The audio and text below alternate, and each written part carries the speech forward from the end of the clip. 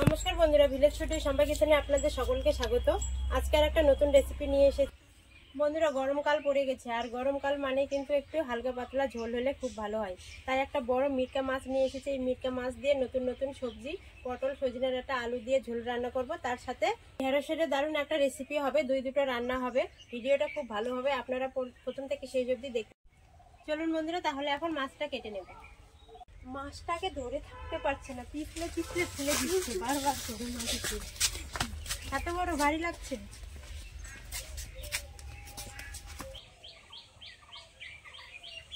বন্ধুরা, এই মাছটা একেবারে যখন কিনেছিলাম, জ্যান্ত ছিল। টাটকা একেবারে মাছ, এই টাটকা মাছ দিয়ে কিন্তু ঝোল খেতে কিন্তু খুব ভালো লাগবে। এখন মাছটা বানিয়ে নেব।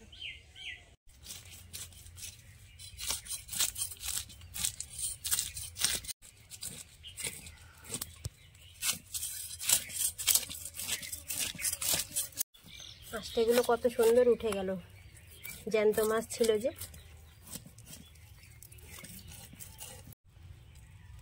এখন এগুলো কেটে নিব পাখনাগুলো।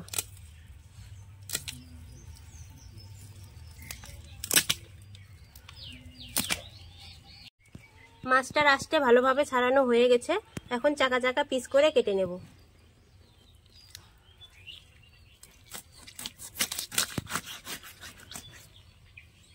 দেখুন বন্ধুরা, কত তাজা রক্ত বেরোচ্ছে। মাছটার কত ডিম হয়েছে দেখো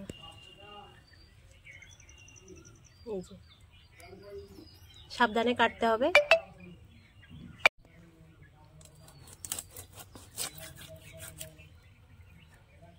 ডিমগুলো আগে বের করে নিই।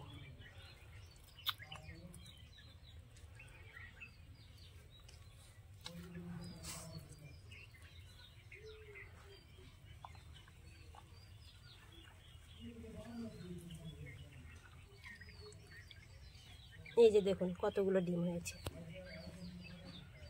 এই মাছের ঝোল কিন্তু আরও টেস্টি লাগবে। এখন পিস পিস করে কেটে নেব।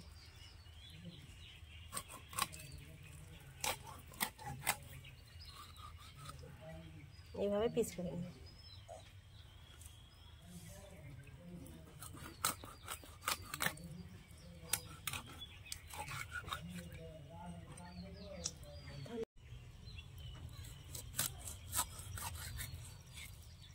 দেখুন পিসগুলো কত বড় হচ্ছে। চাকা চাকাই করলাম।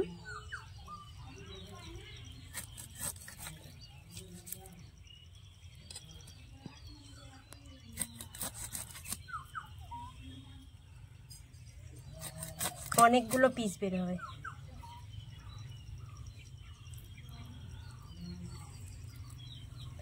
এই অংশটা চাকা বানাবো না, এই অংশটা পেটি করব, আর এই ছোট ছোট চাকা করব।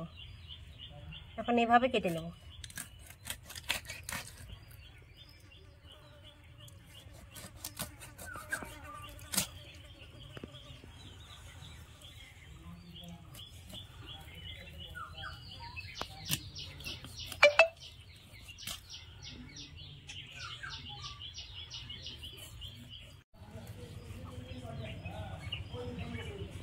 আর এটা দুইটা পেটি হবে।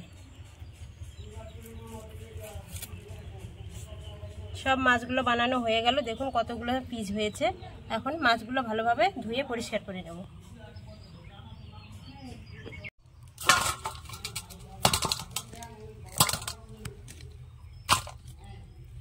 কতগুলো পিস না গৌরব তুমি কয় পিস খাবা?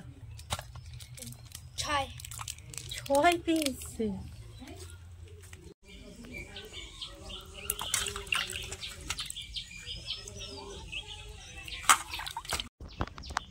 ভালো করে এখন কষলে কষলে মাছগুলো ধুয়ে নেব। মাথাটা আর মাঝখান থেকে ফালি করিনি গোটায় রেখে দিয়েছি।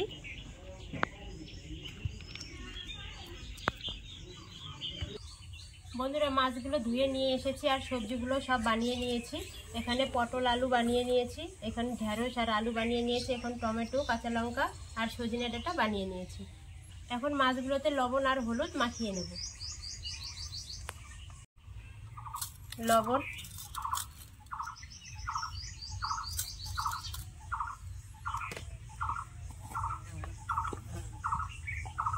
হলুদ।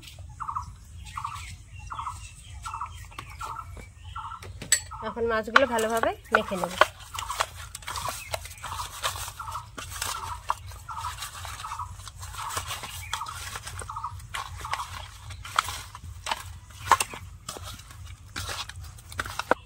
বন্ধুরা মাছগুলো লবণ, হলুদ ভালো করে মাখা হয়ে গেছে। এখন উনুনটা জ্বালিয়ে নেব।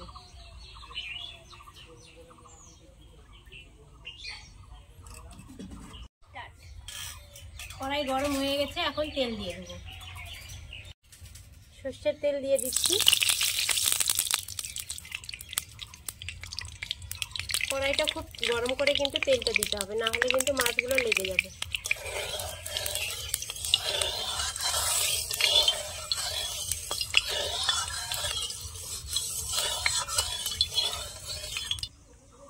তেল গেছে বন্ধুরা এখন মাছগুলো তেলে ছেড়ে দেবো।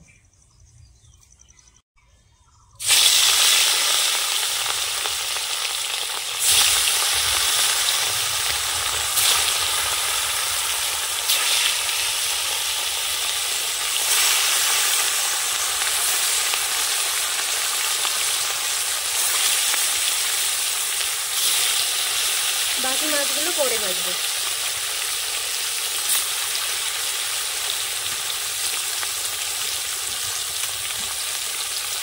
মাছগুলো দিয়ে কিন্তু নাড়াচাড়া করা যাবে না, তাহলে ভেঙে যাবে। এক পিঠটা হয়ে নিক তারপরে পরের পিঠটা উল্টে দেবো। মাছগুলো এখন উল্টে দেবো।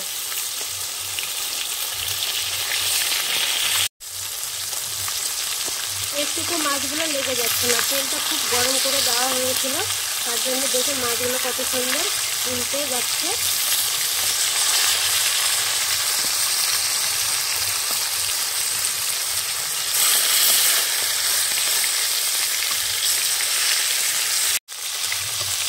মাছও কিন্তু ভেঙে যায়নি। কত সুন্দর ভাজা হচ্ছে দেখুন।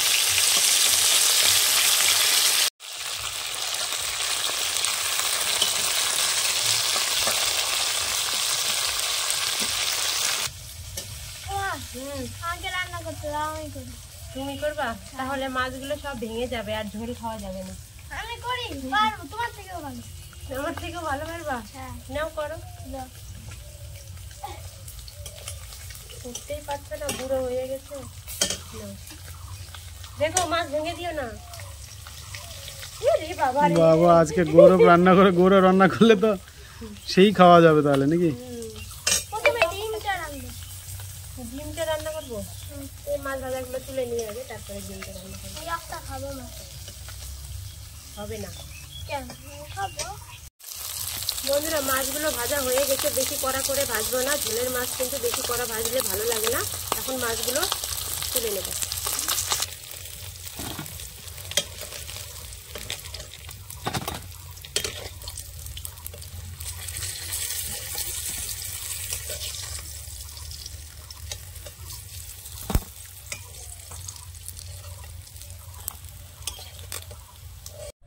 বাকি মাছগুলো এখন ভেজে নেব।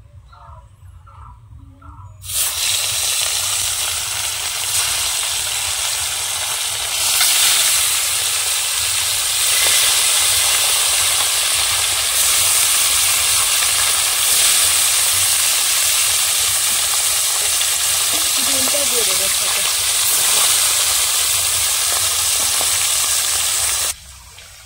বন্ধুরা আমি একটা মাছ ভাজা খাচ্ছি মনে কিছু করো না।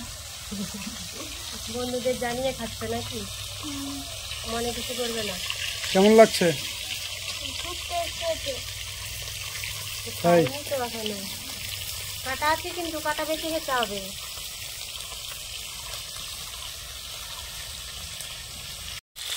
বাকি মাছগুলো এখন উল্টে পাল্টে দিয়ে নেব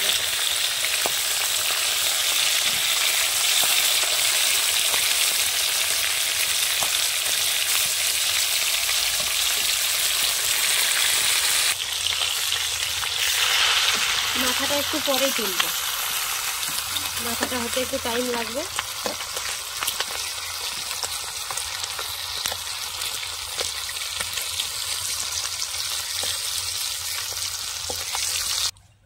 মাছগুলো ভেজে সব তুলে নিয়েছি।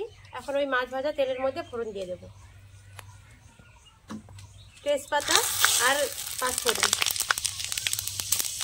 নিই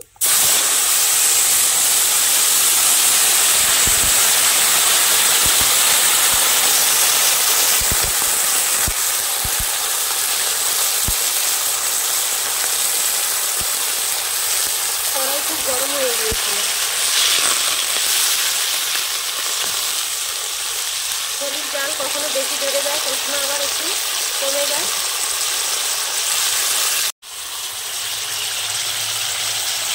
পটল আলুগুলো একটু ভেজে নিলাম এখন এর মধ্যে হলুদ গুঁড়ো দিয়ে দেবো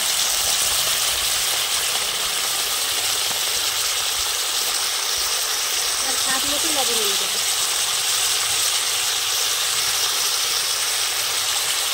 এখন নেড়ে চেড়ে পটল আলুগুলো আর একটু ভেজে নেব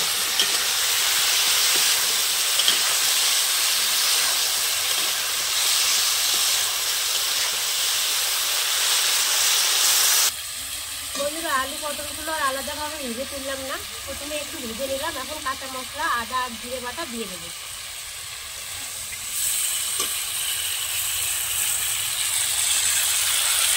একটু সময়ও বেশি যাবে তরকারি স্বাদে কিন্তু খুব টেস্টি হবে। কত কাঁচা লঙ্কা দিয়ে দেবো। এখন এই মশলার সাথে তরকারিটা ভালোভাবে কষিয়ে নেব, যাতে মশলার কাঁচা গন্ধটাও চলে যাবে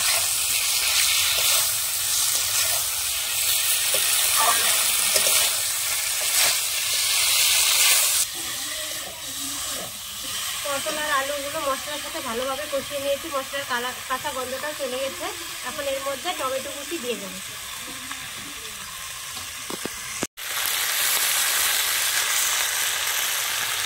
আর সজনে ডাটা দিয়ে দেবো। সজনে ডাটাটা পরে দিচ্ছি। সজনে ডাটাটা খুব জালি ডাটা, ওই জন্য পরে দিলাম। না হলে গলে যাবে। এখন আবার ভালোভাবে কষিয়ে নেব।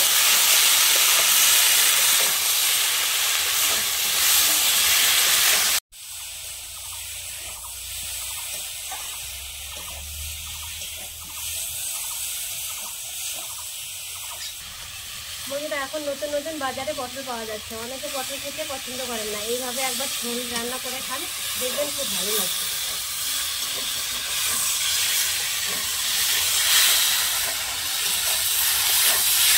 এখন একটু শুকনো লঙ্কার গুঁড়ো দিয়ে দেবো। লঙ্কাটা আপনাদের পছন্দ মতো দেবেন। কেউ কাঁচা লঙ্কা ভেজে দিতে পারেন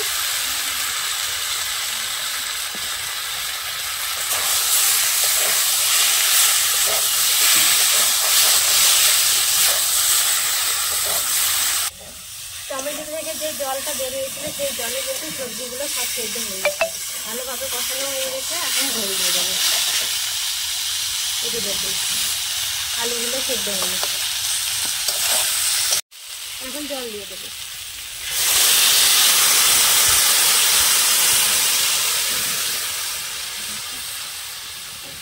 ঝোলটা একটু পাতলা করব, তার জন্য জলটা একটু বেশি দেবো।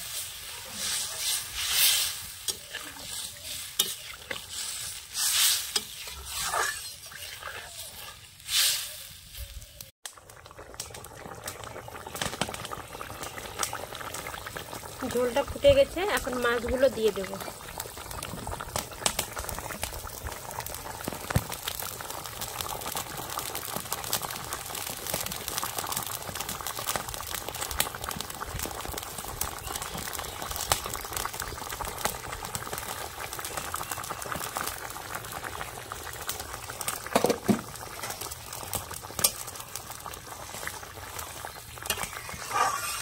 এখন আবারও একটু চার পাঁচ মিনিট ঝোলটা ফুটিয়ে নেব মাছের সাথে।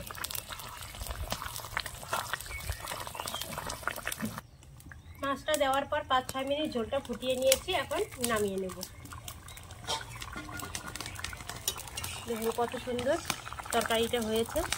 একটু পাতলা ঝোল রাখব তার জন্য এখনই নামিয়ে নেব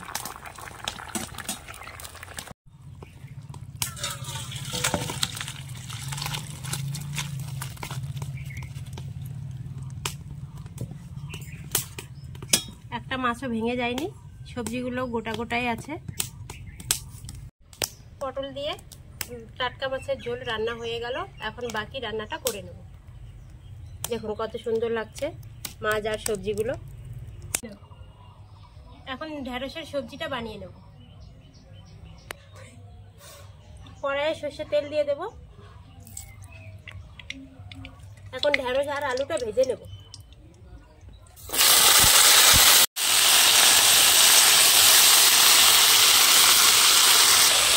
এখন এর মধ্যে লবণ দিয়ে দেবো।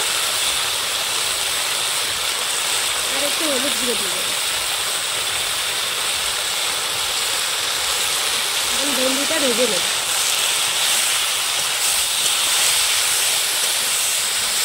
বন্ধুরা, এদিকে ঢেঁড়স আর হচ্ছে আলুটা ভাজা হচ্ছে, আর এদিকে আমি পোস্ত আর সর্ষেটা বেটে দেবো এখানে সর্ষে নিয়ে নিয়েছি, আর এখানে পোস্ত দিয়ে দেবো।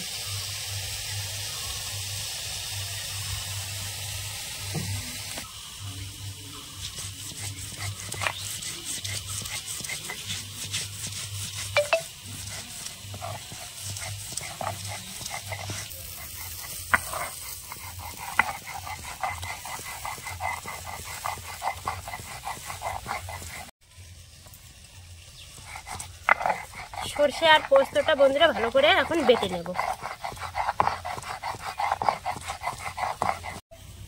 সর্ষে আর পোস্তটা বাটা হয়ে গেছে, এখন এই বাটিতে তুলে নেব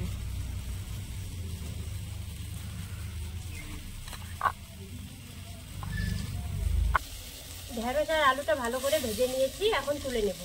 বন্ধুরা, আপনারা এইভাবে ঢেঁড়স, আলু আর সর্ষে পোস্ত দিয়ে রান্না করে একবার বাড়িতে খাবেন। খুব ভালো লাগবে কিন্তু।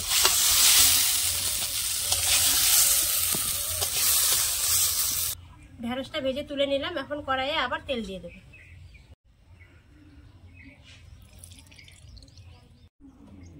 জিরে আর তেজপাতা ফোড়ন দিয়ে দেবো।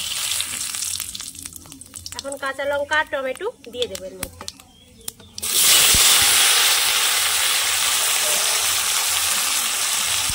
টমেটো আর কাঁচা লঙ্কাটা একটু ভেজে নেব এই টমেটোর মধ্যে একটু সামান্য লবণ দিয়ে দেবো, তাহলে টমেটোটা তাড়াতাড়ি গলে যাবে।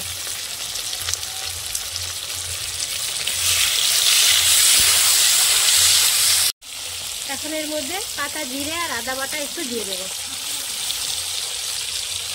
এখন মশলাটা ভালোভাবে কষিয়ে নেব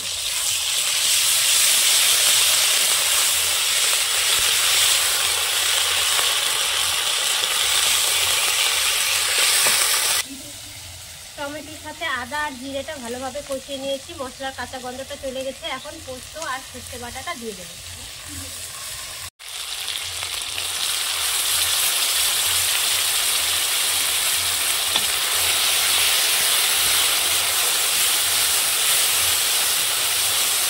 একটু হালকা কষিয়ে নেব।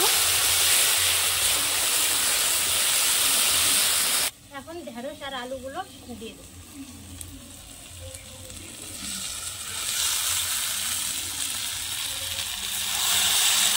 সর্ষে পোস্ত মশলাটার সাথে ভালোভাবে মিশিয়ে নেব।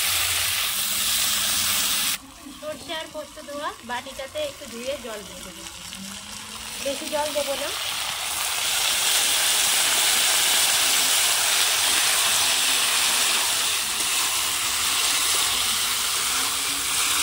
আলুগুলো তো আগে থেকে ভাজা আছে, সেদ্ধ হয়ে আছে